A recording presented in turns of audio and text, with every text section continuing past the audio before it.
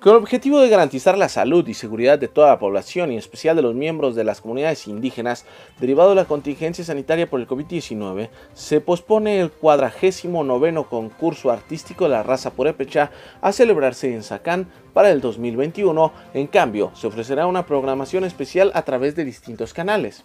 Esta decisión ha sido tomada de forma conjunta entre la Secretaría de Cultura del Estado y la comunidad de Sacán. Esto no impide celebraciones alternas de la riqueza cultural del pueblo purépecha, por lo que se hará un programa especial que se transmitirá en canales televisivos y redes sociales. La gran afluencia de público que anualmente asiste a este magno evento supera el millar de personas reunidas en un espacio cerrado.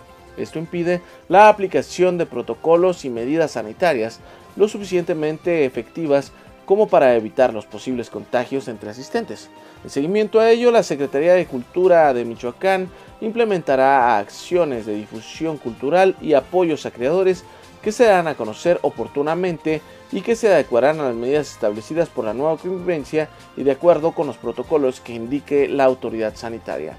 Informó para Red 113 Javier Magaña.